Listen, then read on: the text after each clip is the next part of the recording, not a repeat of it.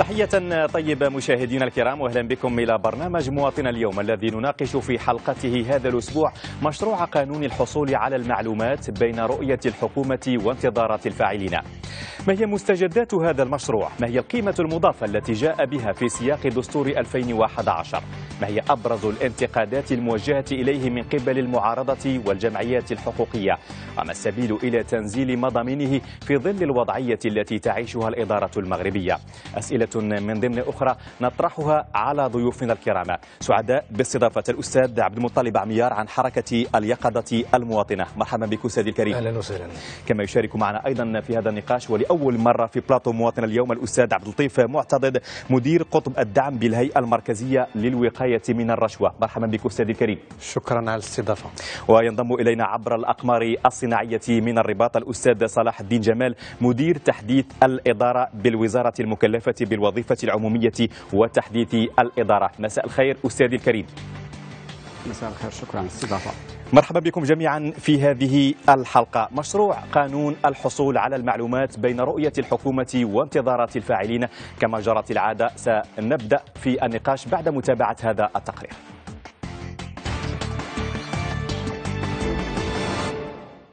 على بعد أيام قليلة من نهاية الولاية التشريعية يناقش مجلس المستشارين مشروع قانون الحق في الوصول إلى المعلومة. وسبق لمشروع القانون نفسه أن قطع شوطا أساسيا بعد تمرير الأغلبية الحكومية له داخل لجنة العدل والتشريع بمجلس النواب. صوت لصالح المشروع أربعة نواب بينما رفضه نائبان وامتنع اثنان آخران عن التصويت. رافق ذلك جدل واسع في الأوساط المدنية والسياسية حول حق المواطنين في الوصول إلى المعلومة. واتجه النقاش العام إلى اعتبار ذلك حقا أساسيا بات يكفله دستور المملكة المغربية في نسخته الأخيرة. تصف الأغلبية البرلمانية مشروع القانون هذا بالإنجاز الهام وتعده خطوة كبرى لتكريس ربط المسؤولية بالمحاسبة وإعمال معايير الشفافية ومحاربة الفساد الإداري. كما ترحب الأغلبية بمكسب النشر الاستباقي للمعلومة وبالمكسب غير المسبوق الذي يتجلى في التنصيص على النشر الفوري للنتائج المفصلة لمختلف المحطات الانتخابية. وكان وزير الداخلية ووزير الوظيفة العمومية لجأ لتحكيم رئيس الحكومة في هذه المسألة وحسم الأمر لصالح نشر النتائج التفصيلية للانتخابات.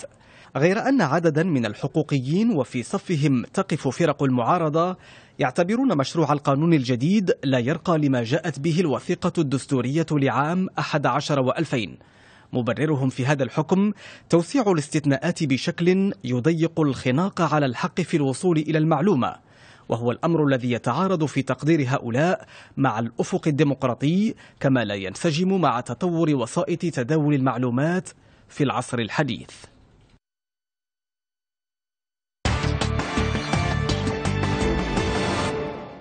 التقرير من إعداد الزميل عزيز فتحي. دمعك أستاذ جمال ما هي أهمية هذا المشروع وما هي القيمة المضافة التي جاء بها في السياق المغربي الراهن؟ شكرا على الاستضافة الكريمة. اولا آه، لابد من من نذكروا بأن هذا المشروع تيجي في واحد السياق واحد الأهداف أساسية جا بها الدستور. لأن المغرب الآن المجتمع ديالو يعيش واحد التحول واحد الحراك مجتمعي اللي توج عبر دستور 2011 عبر إصدار الدستور 2011 اللي هذا الدستور اللي هو جا كرس المؤسسات و- وتأسيس ل- والبناء المؤسسات وكذلك آه، كرس الانتقال الديمقراطي. وفي نفس الوقت أتى في ال- الباب الثاني عشر منه في آه، تطرق للحكمه الجيدة والمبادئ المتع- المتعلقة بها. يمكننا نسردوا على سبيل المثال من هذه المبادئ آه، مبدأ الشفافية. اللي جاء في الفصل 155 مبدأ آه، احترام القانون اللي جاء في نفس الفصل كذلك. مبدأ آه، ربط المسؤولية بالمحاسبة اللي جاء في الفصل 154 ومبدأ مثلا النزاهه والاخلاقيه اللي جاء في نفس الفصول. اذا هذا الف... هذا الباب الثاني عشر ديال الدستور جاء هو اللي أسس إلى بغينا نقولوا هذا الم- آه، الحق من حق حق الحصول المعلومه وفي نفس الوقت فالمادة 27 من الدستور هي اللي آه، يعني سردات بصفة دقيقة شنو هو هذا الحق وكيفاش يمكننا ننزلوا هذا الحق. وهذا جاء انسجاما مع آه، الالتزامات الدولية ديال المغرب خصوصا المادة 19 ديال الاعلان العالمي لحقوق الإنسان وكذلك المادة 19 ديال العهد الدولي للحقوق المدنية والسياسية وأخيرا المادة 10 من اتفاقية الأمم المتحدة لمكافحة الفساد. فهاد هاد الأمور هذه كلها جات هي كذلك في السياق العام ديال هذا المشروع. وهذا المشروع إلا بغينا ننزلوا هذه المبادئ اللي تكلمت عليها سابقا ومن بينها هذا الحق الحق حق من حقوق الحصول على المعلومة. كان لازمنا أننا ننزلوا آه، مشاريع اللي تحقق هذه الأهداف. من بين هذه المشاريع كاين مشروع ديال مكافحة الفساد الاستراتيجيه الوطنية لمكافحة الفساد وكاين كذلك مشروع ديال القانون ديال الحق في الولوج والحصول على المعلومات اللي هو أصلا من بين المشاريع ديال ديال الشفافية وديال مكافحة الفساد. طيب أستاذ جمال كلامك واضح. أستاذ معتضد كيف تقيمون هذا المشروع؟ مشروع القانون المتعلق بالحصول على المعلومات وهل لبى انتظاراتكم كهيئة وكحقوقيين بصفة عامة؟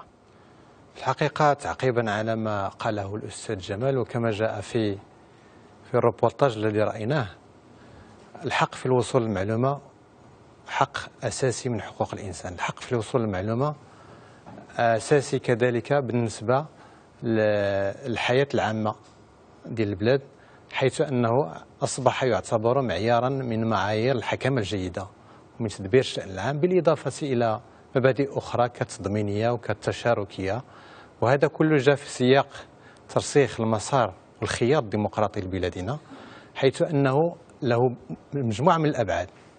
كاين بعد آه، دولي الذي يقتضي منا الملائمة ما بين التشريعات الوطنية والتشريعات الدولية.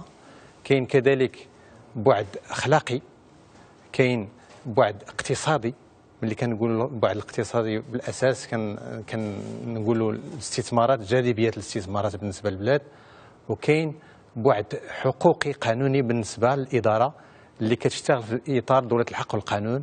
واللي كتمد المواطنين بصفة عامة بمجموع المعلومات التي تنتجها خدمة للحياه اليومية للمواطن وخدمة للمصالح العليا للوطن. الهيئة المركزية للوقاية من الرشوة تتمن هذا المشروع ولكن عندها مجموعة من النواقص مجموعة من آه، الملاحظات بخصوص هذا المشروع حيث أنه واكبته منذ البداية وهي اللي قدمت أول أرضية. أقول أول أرضية لمشروع قانون آه، الولوجي للمعلومة. وكذلك مجموعة من المشاريع اللي كتعلق بمجال اختصاصاتها. أخص بالذكر مسألة حماية الشهود والمبلغين اللي مرتبطة بهذا القانون كذلك. مسألة آه، تضارب المصالح. مسألة آه، يعني الحكم الجيدة في المجال الترابي. وكذلك مجموعة من التوصيات كتعلق بمجالات المؤسسات الانتخابية والاقتصاد الانتخابي ككل. سوف أرجع لمجموعه من الملاحظات. ارجع إلى هذه الملاحظات وهذه المؤاخذات. اذا أنتم تثمنون ولكن هناك مؤاخذات. نثمنوه لأن جاء استجابة لمجموعة من المعايير. ولو متاخرا. المعايير الدولية م. في مجال مكافحة الفساد وفي مجال آه، يعني آه، المنظومة الوطنية للنزاهة حيث نعتبر أن هذا آه، مكسب أساسي للوقاية من الفساد والرشوة بشكل عام ومبدأ أساسي كذلك ركن أساسي لتدعيم الحكمة الجيدة التي خص بها خص خص بها دستور المملكة في فصله الثاني عشر مجموعة من المؤسسات ومنها المؤسسة التي اشتغل والتي أمثلها اليوم الهيئة, الهيئة الوطنية للنزاهة والوقاية من الرشوة طيب ومحاربتها. أستاذ عمير سمعت إلى كلام الضيفين الكريمين، هل ينسجم هذا المشروع في صيغته الثالثة مع مضامين مع روح دستور 2011؟ اجمالا يمكن القول وبكامل التجرد والموضوعيه بأن هذا المشروع الذي تعطل كثيرا لا يرقى إلى مستوى تطلعات الفاعلين من مختلف التخصصات ومن مختلف المجالات. سنفصل القول في الاعتراضات الجوهرية المرتبطة بهذا القانون الذي تم تمريره في آخر دقيقة من دقائق الزمن الحكومي. ولكن بداية أود أن أسجل بأن هذا القانون كان المفروض يتم الحسم فيه في الشهور الأولى أو على الأقل في السنة الأولى أو الثانية من الزمن الحكومي وهذه القضية تسجل على الحكومة على اعتبار أن خمس سنوات تفصلنا على الدستور الذي صادق عليه المغاربة في 2011 وهذا القانون لا ينبغي أن يكون أقل من سقف الدستور. القانون ينبغي أن ينظم في جوهره وفي من في منظور في في مقتضياته الحق حق المغاربة للوصول إلى المعلومة. ولكن مع كامل الأسف العديد من المقتضيات الواردة في هذا القانون ممكن أن تنظم خارج القانون أي بدون قانون ممكن فقط بإرادة سياسية أن نعمل على تحديث الإدارة. تحديث الإدارة من أجل أن نضع بين يدي المواطنات والمواطنين العديد من المواد التي ينظمها هذا القانون. أي بدون قانون ممكن فلسفة تحديث الإدارة أن تعمل على النهوض بالإدارة لوضع العديد من المعطيات الرقمية والإحصائيات والبيانات إلى آخره في يد المواطنات والمواطنين. نحن كنا ننتظر أن يتم إصدار قانون لكي يسهل وصول المغاربة إلى المعلومات, المعلومات المرتبطة بالشأن العام. طبعا نحن لا نحتاج إلى التأكيد بأن هذه المسألة ترتبط بتقوية مسار الديمقراطية وتقوية دولة القانون. ولكن مع كامل الأسف العديد من المقتضيات الواردة في هذا القانون لا ترقى إلى مستوى تطلعاتنا بل يمكن القول وبموضوعية أن هذا القول أن أن هذا القانون في روحه وجوهره قانون محافظ غادي نجيو هذه المساله غنفصلوا المقتضيات اللي كتأخذوها أنتم على الحكومة. طيب يعني نلوم الحكومة أيضا لأن هي من حالت هذا المشروع. أيضا تصويت تقريبا عدد قليل من النواب سبعة نواب تقريبا في مجلس النواب يعني على هذا المشروع. أي قراءة لهذا الأمر؟ أولا رغم الترافع المدني والحقوقي ولسنوات والآن يصوت عدد قليل من النواب على هذا المشروع. صحيح ما يجري في الأيام الأخيرة في مجلس النواب بتمرير ترسانة من القوانين بالصيغة التي يتم تمريرها يطرح طبعا أسئلة حقيقية بخصوص هذا قانون منظم لا يتعلق الأمر فقط بهذا القانون. قوانين كثيرة تم تمريرها في الأسابيع القليلة م. بعدد قليل من البرلمانيين يطرح أسئلة حول النجاعة المؤسساتية وحول لن أقول المشروعية السياسية ولكن على الأقل يطرح أسئلة حقيقية حول دور هذه المؤسسات هذه حول دور هذه المؤسسات وحول المسؤوليات التي يطلع بها النواب البرلمانيون والمستشارون ولكن ما غنحملهمش المسؤولية م. أنا أحمل المسؤولية للحكومة لأن أجل لانها لأنها فرملت المسار الدستوري م. وأجلت العشرات من النصوص في آه، الساعات القليلة من نهاية الولاية الحكومية وهذا الشيء كيطرح بكل تجرد يطرح الإرادة السياسية التي عطلت م. إمكانية إعطاء نفس وجوهر لدستور 2011 طيب أستاذ جمال ما تؤخذه آه، وقد سمعت إلى هذا الكلام ما تؤخذه بعض الجمعيات الحقوقية على هذا المشروع هو كثرة الاستثناءات وأيضا تضييق الخناق كما تقول هذه آه، الجمعيات على الحق الدستوري في الوصول إلى المعلومة كيف تنظرون إلى هذه المؤاخذات؟ آه، نعم غير هو قبل يمكن ما نطرق لهذا الجواب لابد من توضيح بعض الأمور. اولا اللي صوت على المشروع ديال الحق المشروع القانون ديال الحق في الحصول على المعلومه ماشي هو ذاك العدد اللي ربما شفتوا له هذيك اللجنة. اللجنة بالطبع. الجلسة العامة الجلسة العامة فكان فيها أكثر من 100 نائب برلماني غير اللي أقصد اللجنة بالطبع. الجلسه العامة اللي الجلسة العامة هي اللي تصوت ليس اللجنة. هذيك غير آه، آه، مصدرية. اذا فهد اولا خصنا نعرفوا بأن هذا المشروع جاء في إطار عدم وجود أي تشريع. فإحنا انطلقنا من العدم إلى وجود نص قانوني. هذا لازم نأخذه بالاعتبار ولكن كما قال الأستاذ عميار السقف هو دستور 2011 أي دستور 2011 راه متفق معك. الماده 27 واضحة ويمكن نتفصلوا فيها أكثر. ثانيا المواطن كانت يعاني من صعوبة الحصول على هذه المعلومات. يعني وطغيان مفهوم طغيان مفهوم السر المهني والسر والكتمان السر. وكان في نفس الوقت ضعف ديال الثقة. فهذا المشروع خاصنا كاملين كاملين يعني على الأقل آه، نشجعوه باش يخرج للوجود. وهو الأصل الآن واخا تنتكلم على هذا المشروع ما ناخذوش آه، يعني الحكم النهائي الآن. لأنه مازال بيد المشرع.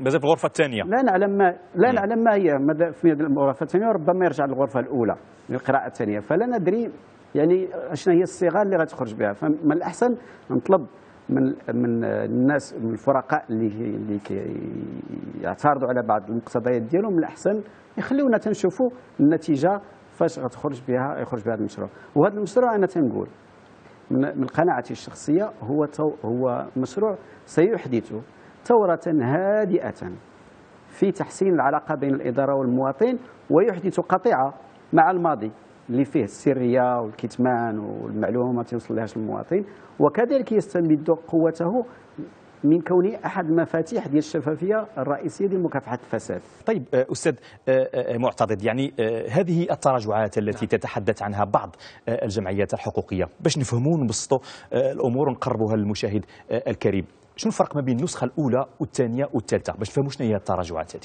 بالفعل في الهيئة المركزية واكبنا هذا المشروع منذ نشأته يعني أن انطلاقا من الأرضية للصيغة الأولى إلى الصيغة الثانية إلى الصيغة الثالثة اللي هي هذه الصيغة اللي بين أيدينا والتي تم تدرسها كاين تقدم ملموس أخذ بمجموعة من الملاحظات. آه، كانت تقدم بها المجتمع المدني وكانت تقدمت بها الهيئة المركزية كذلك. أول مسألة هي مسألة تحديد المعايير. الإطار اللي كنشتغل فيه شنو هي المعلومة وشنو هما المؤسسات المعنية في حد ذاتها. المعلومة كان يعني التعريف ديالها على أساس أن كل معلومة كاينة عند الإدارة على شكل قرارات على شكل آه، يعني وثائق على شكل آه، فيديوهات على شكل هذا الشيء كله كيدخل في إطار المعلومة اللي من لازم إن الإدارة العمومية والمؤسسات المعنية خصها تمد بها المواطن وتمدها في صيغة يمكن يستعملها. هذه مسألة أساسية. كاين مسألة أخرى بالنسبة لهذا القانون اللي أول مرة كيخرج بالفعل كان الولوج المعلومة اشير إليه في مجموعة من النصوص اللي كانت في البلاد ولكن حاليا نصل إلى مشروع قانون قيد المصادقة عليه صادقت عليه الغرفة الأولى اللي هي البرلمان وهو قصد الدراسة في الغرفة الثانية في مجلس المستشارين. بالفعل كانت مجموعة من يعني تعديلات وقعت داخل اللجنة آه، خصوصا في مجال الاستثناءات خصوصا في مجال الاستثناءات ولكن كاين مسألة اللي يمكن أننا طرحناها في الهيئة. ولم يستجب لها. مسألة السر المهني. مسألة السر المهني يعني لا يمكن التضرع آه، في مغرب 2016 بحجب آه، معلومة بذراع السر المهني إذا كانت مقرونة بفعل جرمي. هذه مسألة أساسية. كاين مسألة أخرى لا يمكن اليوم في ظل آه، يعني الثورة التكنولوجية اللي كيعرفها العالم أننا نبقاو كمؤسسات. لا مؤسسات ديال الحكمة اللي نص عليها الدستور في الفصل 12 ولا كقطاعات حكومية بدون تنسيق من أجل تبادل المعلومات من أجل يعني آه، تتبع آه، تكاثر ولا اكتشاف تنامي الثروات بعض المسؤولين العموميين. ولا كذلك بالنسبة لقواعد المعطيات لأن مجموعة من آه، الهيئات ديال الضبط والرقابة كالمجلس الأعلى للحسابات كمؤسسات أخرى تشتغل في مجال الضرائب المحافظة العقارية. ما كاين حتى شي ما كاينش حتى شي آه، يعني انسجام وما كاين حتى شي جسور للتواصل التعاون ما بين هذه المؤسسات في إطار يعني تبادل المعلومات والولوج إلى المعلومة وتقديم خدمة للمواطن. المواطن اللي اليوم كيعيش في ظل الدستور 2011 آه، أزهى أيام الديمقراطيه في بلادنا. لأنه في نهاية المطاف هذا المواطن هو حجر الزاوية في كل هذا المواطن في صلب كما نقول في صلب كل المشاريع في صلب كل السياسات العمومية وفي صلب كل القوانين والديمقراطية التشاركية هي هذه. الديمقراطيه التشاركية هي المبدأ. م. هي الخيار الأساسي اللي جا به الدستور ديال 2016 2011 اللي شار... اللي يعني آه، صوت عليه أغلبية الشعب المغربي. اذا هذا المشروع كيجي كتنزيل ولا كحجرة أساسية في البناء الديمقراطي وكتتويج الجهودات لا ديال آه، المجتمع المدني ولا كذلك لتحديث آه، الإدارة العمومية المغربية والمؤسسات المعنية. على ذكر هذه المؤسسات الدستور نص في البنود الأولى ديالو أن المؤسسات المنتخبة كذلك بما فيها الجماعات المحلية معنية بهذا آه، الحق في الوصول للمعلومة. وفي هذا المجال لابد أن اشير أن المؤسسات المنتخبة من المفروض عليها أنها تسير هذا المشروع بإتاحة المعلومة للناخبين المواطنين عن قرب في إطار غادي نجيو لدور الإدارة واش هي مؤهلة لاستيعاب مضامين هذا المشروع. أستاذ عميار دائما يعني في النقاشات شنو هي الأمور اللي اقترحتوها أنتم كمجتمع مدني ولم يؤخذ بها في إعداد هذا المشروع؟ كاين مع الأسف كاين فرق في الطموح والواقع. المبدأ وهو أن الدستور أعطى المغاربة الحق أنهم يمشيو أي مؤسسة عمومية لأي إدارة يطلبوا منها المعلومة. مع كامل الاسف المشروع الأول والثاني كانت مشاريع متخلفة على روح الدستور ودرنا مقترحات ديالنا ونشرناهم في الصيغة الأولى والثانية.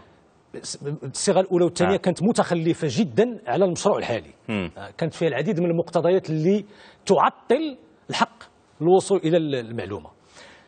من بين الأمور اللي كانت مطروحة في المشاريع الأولى أن المعلومة لا تعطى إلا لصاحب المصلحة المباشره في ذلك.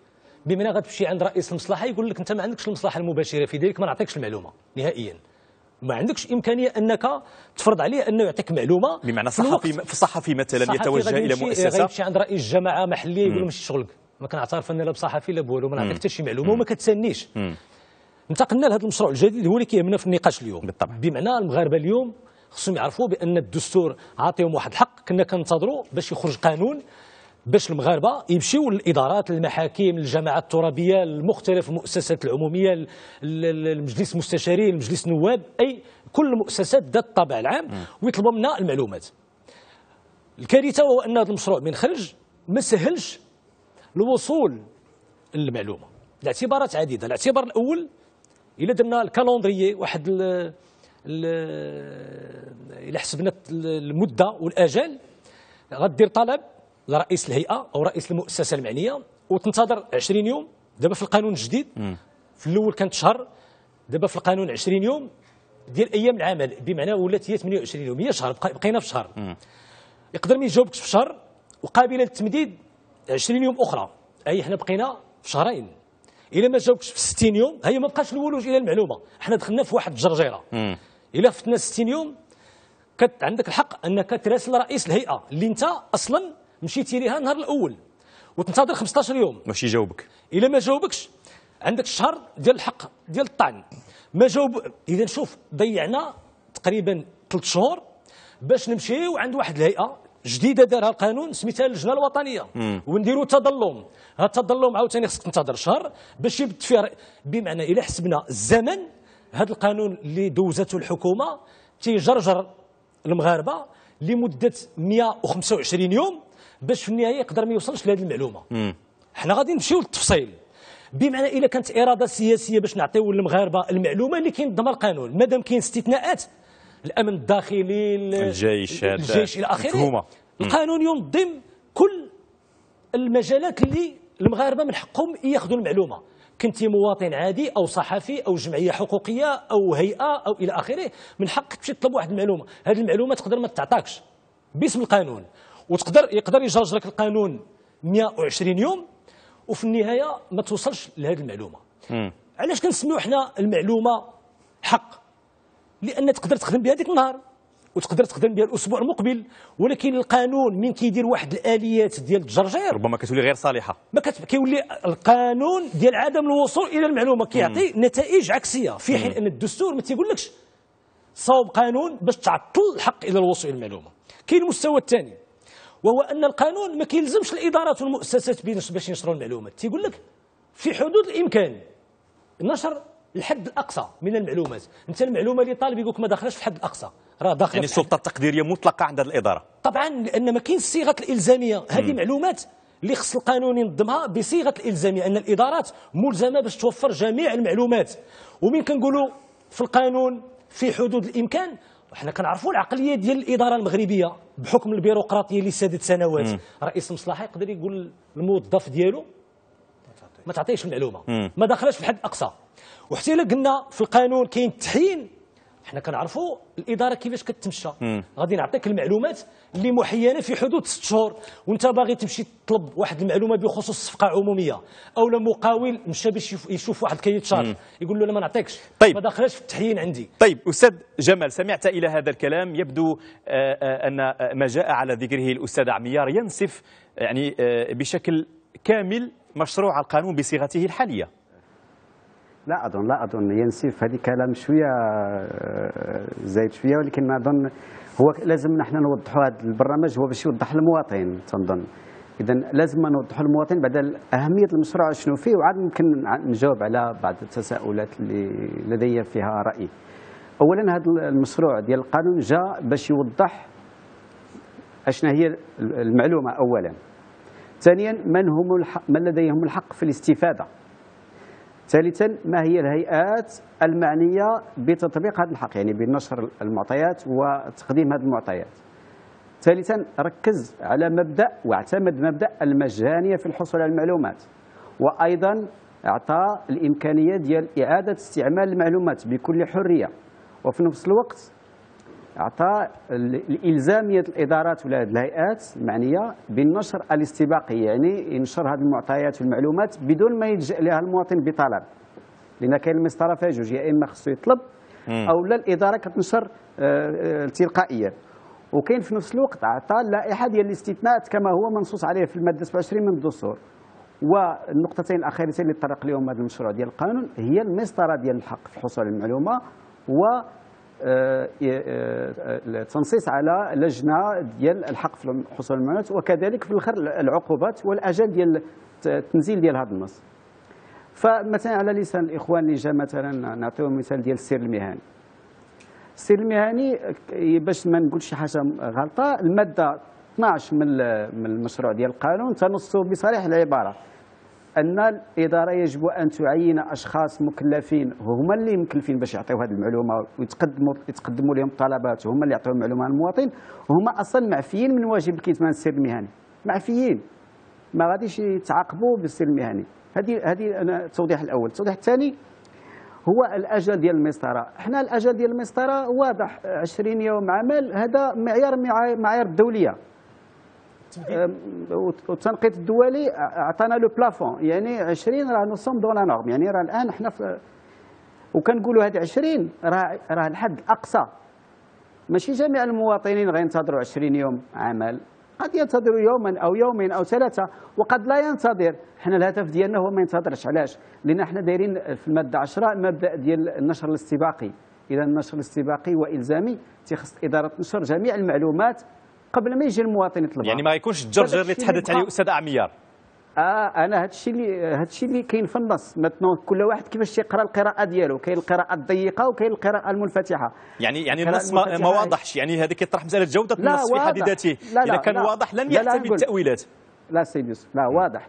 النشر النشر الاستباقي هو ملزم للإدارات. فأنا ك- عندي واحد اللائحه فيها 19 نوع من المعلومات. لازم الادارات تنشرها ففي بعض الأمور في بعض الأمور خص فيها بعض الخصوصيات ما نشرتهاش هذاك طالب المعلومات ممكن يطلبها وإلا طلبها. وعطاتها له ممكن تنشرها مباشرة من بعد فهذا كيعني بأننا مع مع الوقت مع التراكم ديال الطلبات غيكونوا جميع المعلومات متاحة ومنشورة. طيب. وممكن. يفصلوا بالطبع بالطبع. تفضل أستاذ. تعقيب على الأستاذ جمال. أنا منذ نشأة الهيئة وحنا ننادي بإلغاء المادة 18 من قانون الوظيفة العمومية التي آه، يعني تحت ذريعة يعني السر المهني لا يمكن لأي موظف تبليغ عن أفعال أف- فساد تعرف عليها أثناء مزاولة مهامه في إطار مهمته آه، الوظيفية. بمعنى موظف عادي لا المسؤول ديالو كان يعني آه، كان مفسدا لا مفسدا يمكن, لا أن يمكن نبلغ أن عنه. الإشكال المطروح اليوم بغض النظر عن المادة 12 هو أن بعض الموظفين العموميين تصل إلى علمهم. بعض المعلومات قد تكون جرمية. وعندنا هنايا عندنا هنايا مجموعة من الأمثلة. عاشتها الساحة الوطنية. ما يمكنش أنك نطلب من الموظفين اللي تحت الإمرة ديالك سواء في المس- في المستشفيات العمومية أنهم يلقحوا يلقحوا المواطنين بلقاحات فاسدة. هذه مسألة كانت معروفة. ما يمكنش لك أنك أنت موظف تشتغل تحت مسؤولية مسؤول إداري. وقع في الحسيمه في مسؤول إداري في إطار صفقات عمومية. مسؤول فاسد أنك لن تبلغ عن أفعال رشوة بحجة السر المهني. هذه مسائل لا تقبل. بالخصوص أننا عرفنا مجموعة من الثورات لا بالنسبة ماشي ثورات تقدم وتطورات في مجال التشريع بخصوص المشتريات العمومية بخصوص مجموعة من الأمور. ونحن اليوم كنقول بأن هذا السر المهني اللي كان قاعدة ديال الوظيفة العمومية لا يمكن أن نتبجح بها في إطار الدستور 2011 اللي كيقول القاعدة هو منح المعلومة بكل سلاسه للمواطن حتى يمكن يعني آه، استعمالها و آه، استعمالها وخدمة للمصلحة ديال البلاد. اليوم بالفعل هذا القانون جاب مجموعة من الأمور. ولكن عندنا فيه ملاحظات. في مجال الاستثناءات كنظن بأنه آه، يجب مازال يمكننا نقيدوا مجال الاستثناءات اللي جا بها هذا القانون. وعندي أمثلة. عندي أمثلة. عندي أمثلة مثلا فيما يخص ميزانيات الهيئات المعنية من حيث الموارد ومجال النفقات. يمكن تحصل على الميزانية ديال بعض المؤسسات ولكن ما يمكنش لك تحصل على الموارد ديالها ومجال الإنفاق. كاين مسألة أخرى آه، مسألة ديال التقارير آه، التي تصدر على اثر عمليات التدقيق المالي والافتحاص لمجموعة من الهيئات. هذه مجال لمجال ديال الكتمان. ألور كو كتنفق فيه مجموعة من الأموال الطائلة العمومية. كاين مسألة أخرى ديال أنظمة الأجور والتعويضات والعلاوات.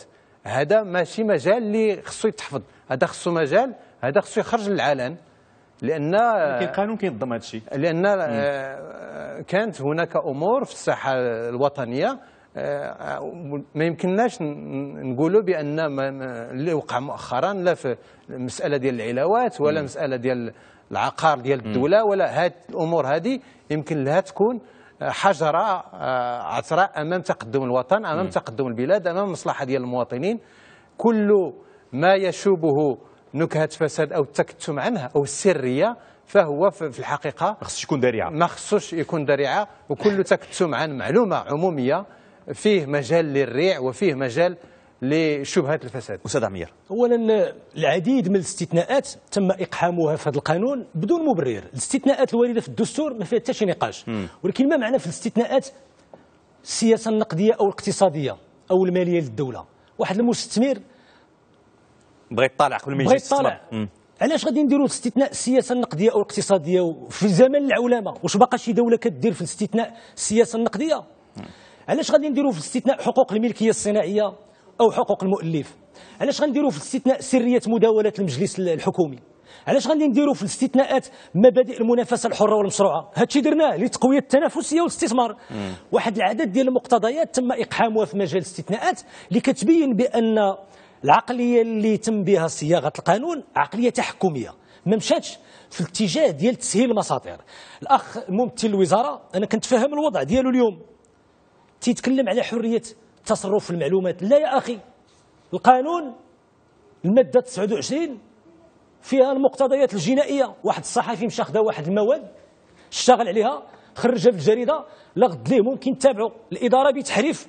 مضامين المعطيات المادة 29 كتقول كل تحريف لمضمون المعلومات ما معنى التحريف؟ نتج عنه ضرر للهيئة المعنية. لا يتم تحديد هنا مفهوم الضرر أو أدى استعمالها أو إعادة استعمالها إلى الإساءة والإضرار بالمصلحة العامة يعرض الحاصل على المعلومة. حسب الحالة للعقوبات المنصوص عليها في الفصل 360 إذا أنت حصلت على معلومة. تم استعلام تم استعمالها من طرف قنوات أخرى. يتم تعريض صاحب المع... صاحب المعلومة الأصلي للقانون الجنائي. في حين أن الموظف اللي ما تيبغيش يعطيك المعلومة يلا كيتعرض للتأديبات. هادو هادو جوانب. مسألة أخرى. كنا كنتمنوا أن اللجنه اللجنه اللي ممكن تستقبل الشكايات المواطنين. إلى تسدوا البيبان في وجه المواطنات والمواطنين خصهم يلجؤوا لواحد اللجنة مستقلة. ما يمكنش واحد القانون اللي كيقول لك أنا باغي ندير الشفافية وباغي ندير الحكمه الجيدة وكيدير لجنة تحت لجنة حكومية. لجنة غير مستقلة. المفروض أن القانون كان يمشي في الاتجاه ديال إحداث لجنة مستقلة على الجهاز التنفيذي على الحكومة وتكون مستقلة بمواردها البشرية وبمواردها الإدارية. هنا هذه اللجنة هذه أن الوزير أن رئيس الحكومة يعين آه، بعض أعضائها وأن بعض الأعضاء تابعين لقطاعات حكومية. بمعنى غتولي هذه اللجنة اللي كتستقبل الشكايات هي لجنة تابعة ل آه، لبنية النظام الحكومي في حين أن مبدأ الشفافية يقتضي يعني الخصم هي الخصم والحكم ما يمكنش تكون هي الخصم وهي الحكم. نحن كنا نطالب إما بأن هيئة الوسيط هي اللي تكون كتستقبل الشكايات أو لا يتم إحداث لجنة مستقلة عن الحكومة. ثم مسألة أخرى ومهمة. الاجال المتعلقة بالحالات المستعجلة. كنا تنقولوا في الحالات الاستعجالية خص يكون واحد الاجل صارم. الحالات الاستعجالية اللي كتهم حياة المواطن اللي كتهم حماية الأشخاص وسلامتهم. ضاف فعلا واحد التعديل اللي فيه ثلاثة أيام. بمعنى أن اذا كانت حالات استعجالية كتطلب إعطاء معلومة خصها تعطى في أجل ثلاثة أيام. ولكن شنو ضافوا لها ضافوا لها مع مراعاة حالة التمديد. بمعنى الحالة اللي في المفترض انها حالة استعجالية تقدر تولي بحكم المادة 16 حالة اللي داخلة في حالة تمديد عادية, عادية. مادة أخرى غريبة وهو أن صاحب الطلب خصو يدير مبررات تقديم الطلب. الشفافية لا تقتضي هذا الأمر. علاش غيجي الإنسان ويدير لك موضوع الطلب؟ هذه ماشي الديمقراطية هذه ماشي الشفافية. مسألة أخرى ما هي المعلومات اللي ضروري تكون عند الإدارات؟ غير محددة. أنا قلت بأن هذا القانون بدون قانون ممكن غير تحديث الإدارة توضع لدى المواطنات la base de données حنا كنا كنتظروا قانون ماشي باش يجي يقول لنا خصنا الإدارات ديالنا دير لنا الموارد البشرية ديالها والنصوص والقوانين ديالها ودير لنا هذا الشيء كان بإمكان الدولة والحكومة ديروا بلا قانون. بلا قانون. مسألة أخرى ياك ما طولت. أنا باش نستمع الرد ديال الأستاذ جمال أيضا. تفضل أستاذ جمال عندك شي رد على هذا الكلام؟ آه، تماما تماما. آه، نبدأ مثلا بالأسهل ثم الأصعب.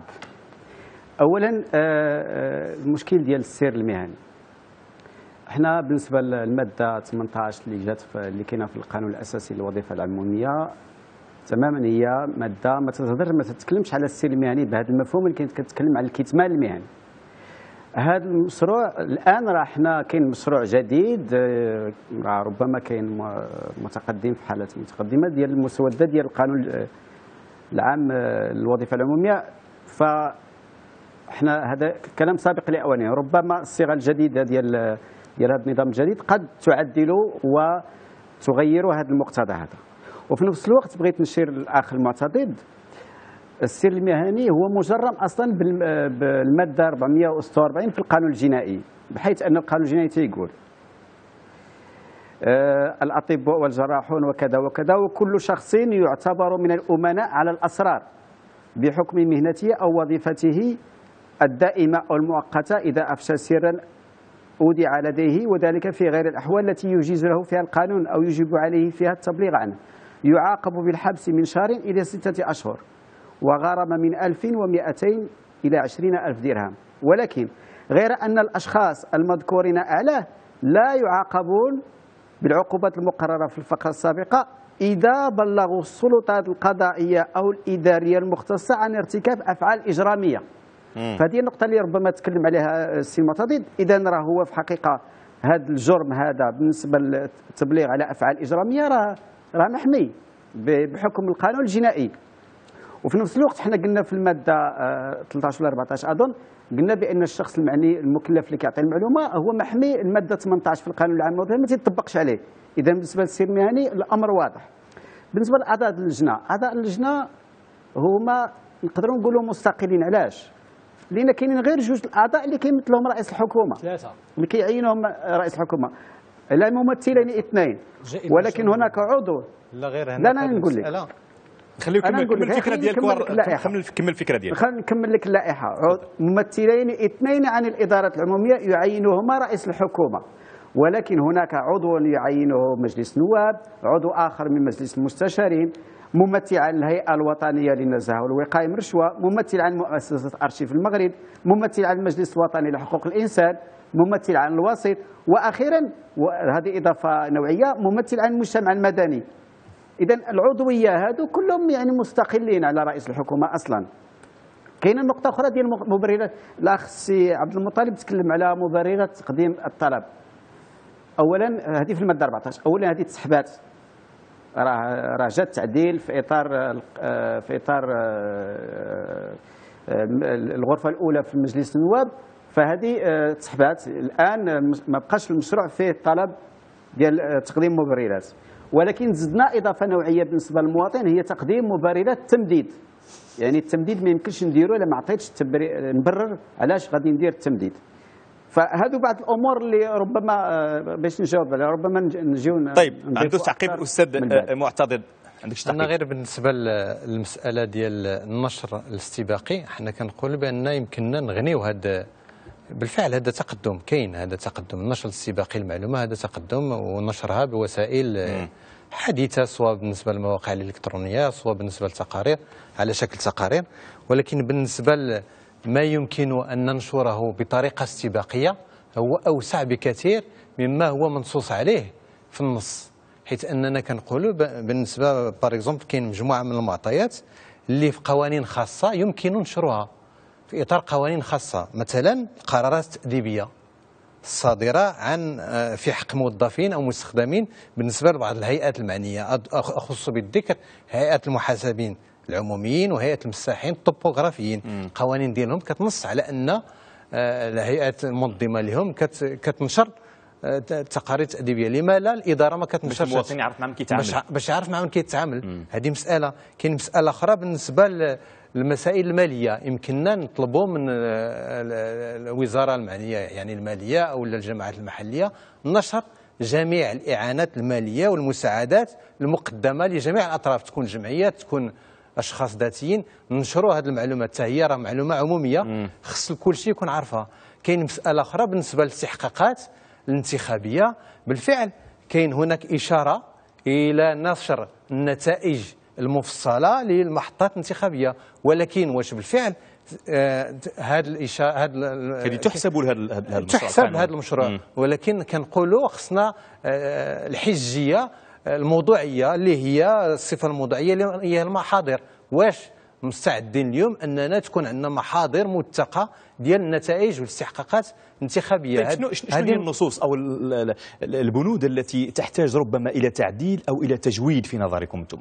آه انطلاقا من المداولات اللي تداولنا فيها في إطار الطاقم الإداري للهيئة بحكم أن الهيئة كان الجمع العام ديالها استنفذ ال mandat ديالو الولاية ديالو منذ 2012 الهيئة مازال خدامة في إطار آه تصريف آه المهام ديال الهيئة المركزية في إطار في انتظار تنصيب الهيئة الوطنية. كانت هناك مجموعة من المقترحات وكان نقاش داخلي في خصوص par exemple مسألة تثبيت حق الهيئات الوطنية في الولوج للمعلومة. هذا جا به الدستور. أننا ما يمكنناش كهيئات دستورية مستقلة آه، عندها يعني آه، نوع من آه، يعني في الوصول للمعلومه نوع من القوة ديال الاقتراحية. أننا عندنا إشكال في الحصول على المعلومات التي كاينة في حوزة مجموعة من المؤسسات العمومية. كسوا وزارات كسوا مؤسسات كتعني بالمالية ديال الدولة ديال المواطنين ولا ديال طيب الآن المشروع الضرائب. المشروع كاين كاين كاين مسألة أخرى أستاذ. بالنسبة لهذه المقتضيات ديال ديال المادة 10 إلا قريت عليك المادة 10 كتجيب كتجيب بالشيء وبنقيضه. ملي كنقولوا يجب على المؤسسات والهيئات المعنية كل واحدة في حدود اختصاصها أن تقوم في حدود الإمكان.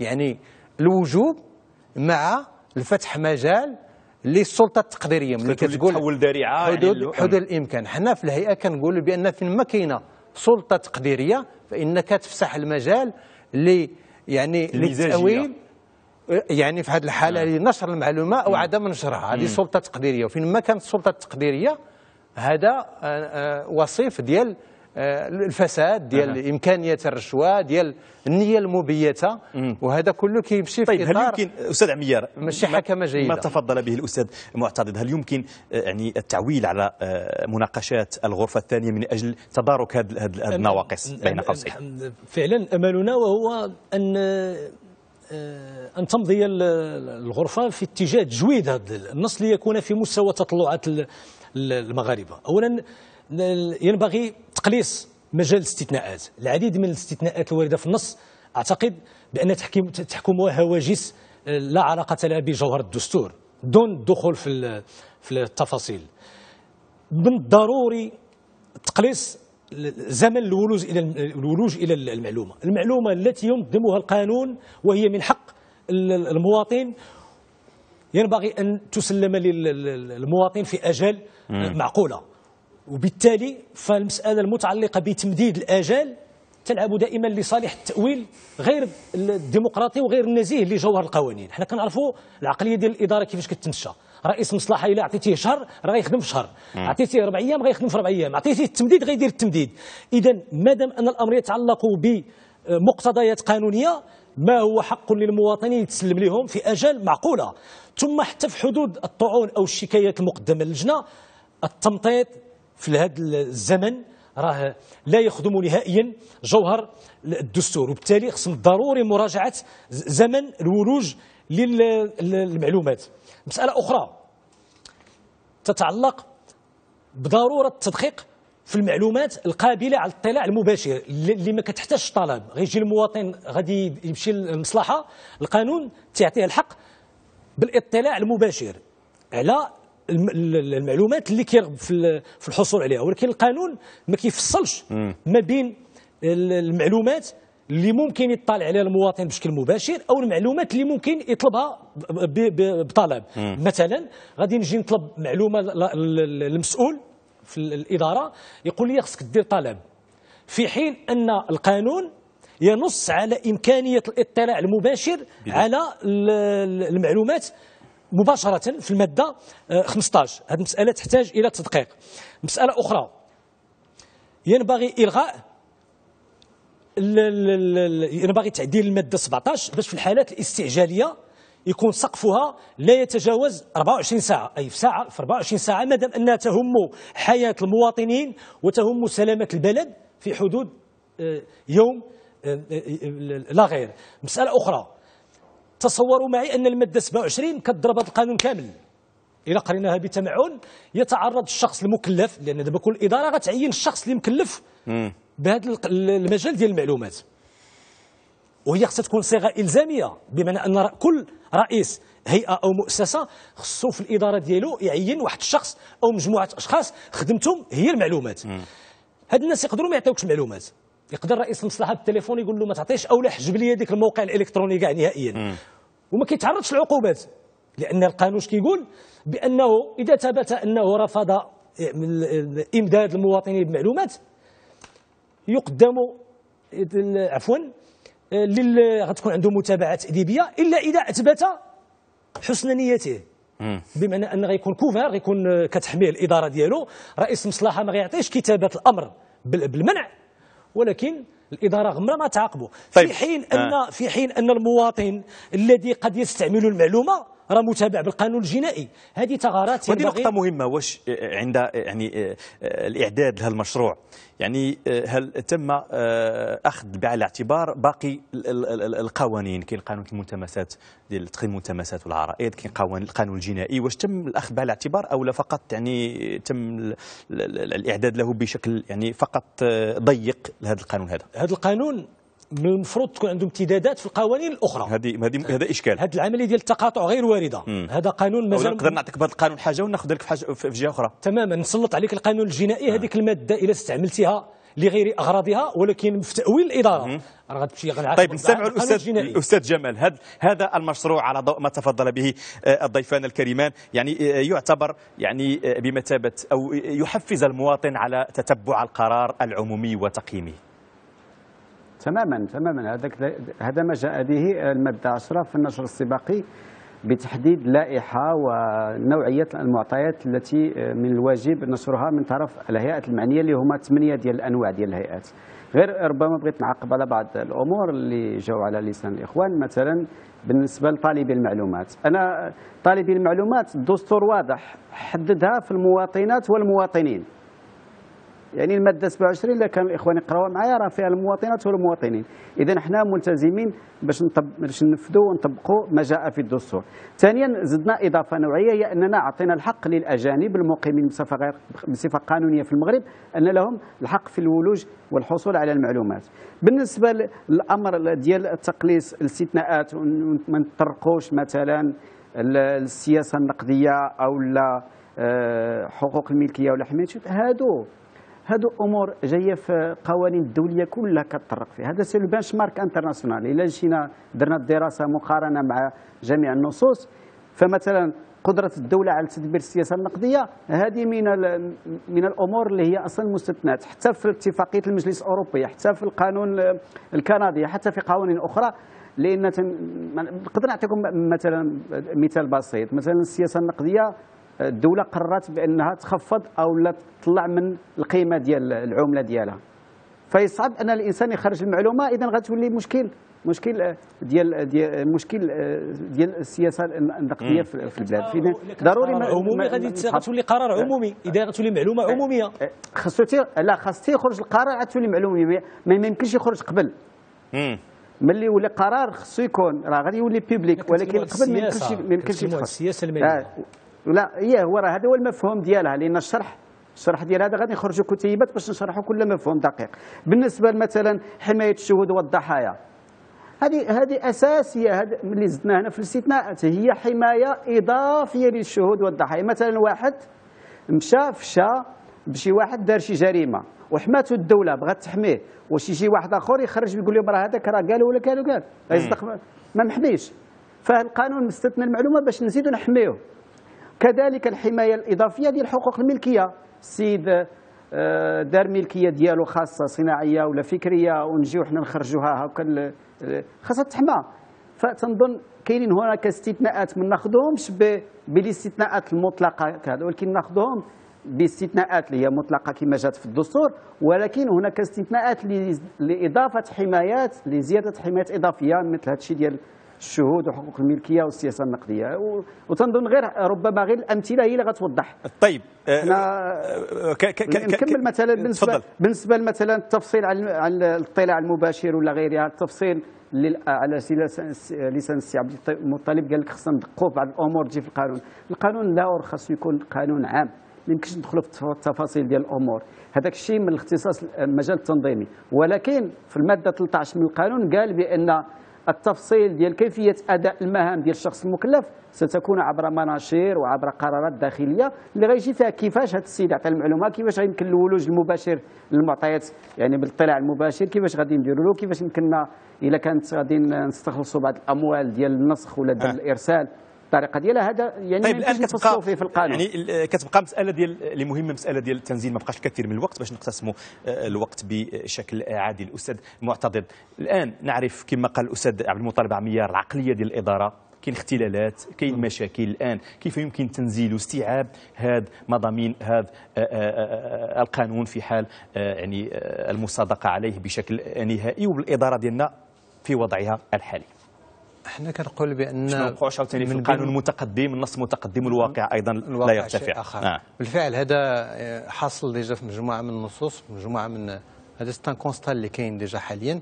كنقول بأن في إطار آه، الاستفادة من التجارب آه، العالمية الفضلى في مجال الشفافية والحصول على المعلومة وتدبير الشأن العام بشكل عام كنقول بأن لابد من إيجاد بيئة ملائمة لإنجاح تنزيل هذا آه، الورش المهم اللي هو الوصول إلى المعلومة ويعني جعل المعلومة في متناول جميع المواطنين. إذا لابد من تبسيطها لابد من تبسيط مساطرها لابد من قنوات آه، تمكن المواطن من الحصول على المعلومة بكل سلاسة.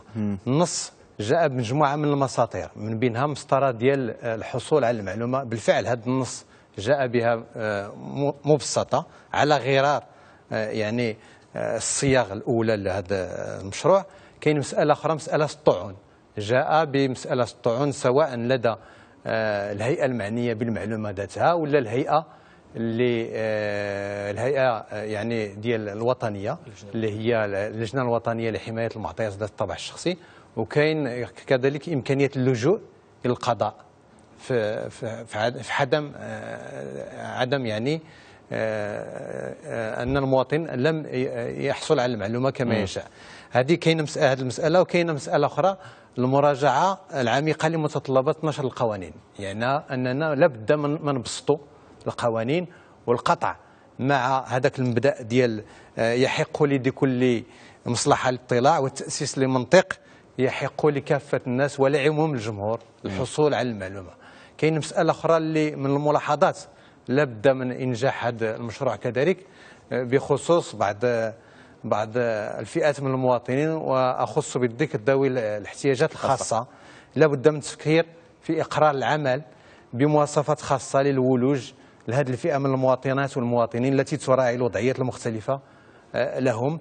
وكذلك آه، مسألة أساسية كذلك كنت شرت لها قبيلة في النقاش إنه لابد من توحيد وتوجيه الجهود نحو آه، بناء أنظمة معلوماتية ما بين المؤسسات الوطنية الاداره الإلكترونية وكاين في, في إطار تحديث الإدارة. في إطار تبسيط المساطيع أه. وفي إطار تحديث الإدارة وفي مم. اطار يعني تقريب الإدارة من المواطنين. طيب أستاذ عمير كيف يمكن تنزيل في ظل الوضعية اللي كتعيشها الإدارة المغربية حاليا؟ التنزيل فيه طبعا التنزيل طبعا يتطلب الإرادة السياسية يتطلب آه، قوانين ذات أبعاد إجرائية مرنة ويتطلب طبعا موارد بشرية ويتطلب البرمجة.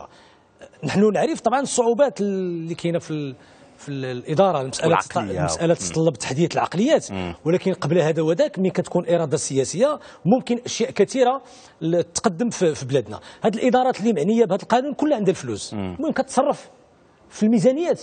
الادارات العمومية المحاكم مجلس النواب مجلس المستشارين الجماعات الترابية هذو كلهم ما عندهمش مشكل ديال أن يكون عندهم لي بيسي وما كناش كنحتاجوا قانون باش عاد ندخلوا فيه. المعطيات البشرية والإدارية العادية والمعطيات. اليوم راه كتمشي العمالة وتقدر تطلب يمشي طالب باحث يطلب قاعدة بيانات كتخص الإقليم تقدر ما تكونش عندهم. كان المفروض أن تحديث الإدارة كفلسفة تمشي في الاتجاه ديال أن العديد من الإجراءات الوارده في القانون تكون واجدة عندنا. واحد الإنسان باغي معطيات إحصائية بيانات أرقام أي كل ما يتعلق بواحد العديد من المجالات كان بإمكان نكونوا ربحنا فيها. الزمن لو كانت لو كانت حقيقة الإرادة ديال الإصلاح الحقيقي. اليوم خصنا ندوزو بعد تجويد النص القانوني خصنا ندوزو للتمرين في أرض الواقع من أجل اولا أن المغاربة يعرفوا بأن من حقهم يمشوا ياخذوا المعلومات.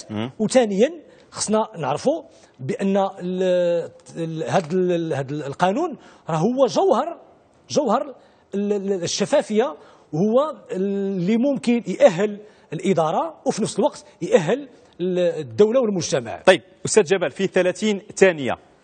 عندك شيء إضافة؟ ثانية يصحب آه، إضافة غير كما قلت دائما في إطار التنزيل. آه، هناك بعض الدول اللي جاي نديروا بنش مارك كاين اللي خدات 50 في التنزيل مثلا المثال ديال إنجلترا.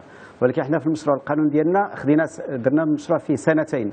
سنة للتنفيذ وسنة للنشر الاستباقي. وحنا قمنا بواحد المخطط عمل اللي فيه 10 إجراءات. من بين هذه الإجراءات كاين خمسة مجالات تتهم خمسة مجالات. كاين هناك عملية تواصلية سنقوم بعملية تواصلية. عملية تحسيسية لأنه تغيير ثقافة هذا بطبيعة الحال.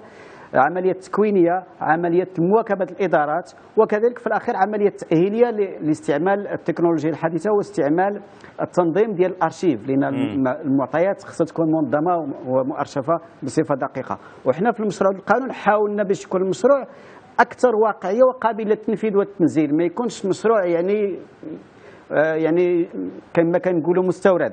ولكن مشروع يأخذ بعين الاعتبار حتى الإمكانيات المتاحة للإدارة المغربية. وفي نفس الوقت الترسانه القانونية الموجودة حاليا. كيفاش ممكن نزلوا في الجماعه الترابية؟ ما بقاش الوقت ولكن جاوبوا بعجاله كيفاش يمكن كيفاش يمكن. نزلوه في الجامعة الترابية؟ حنا حنا حنا الأمل ديالنا هو غنديروا واحد البرنامج خاص ديال المواكبة. المواكبة والتأهيل يعني غادي نحاولوا نعاونوهم يعني واحد الاعانه ديال ديال l'accompagnement la mise en accompagnement يعني المصاحبة أو المواكبة المواكبة. ديال الإدارات. المصاحبة والمواكبة. الحديث شكراً. له شجون وهذا المشروع القانوني أكيد سنعود إليه في سياق آه، حلقاتنا المقبلة. ختام هذه الحلقة من برنامج مواطن اليوم. الشكر جزيل ضيوفي الكرام أستاذ معتضد أستاذ عميار واستاذ آه، صلاح الدين آه، جمال بهذا مشاهدينا الكرام. نأتي إلى ختام هذه الحلقة. Medi1 TV point com لمشاهدة التسجيل الكامل لها و citoyen at Medi1 TV point com للتواصل معنا. شكرا لطيب المتابعة وفي أمان الله.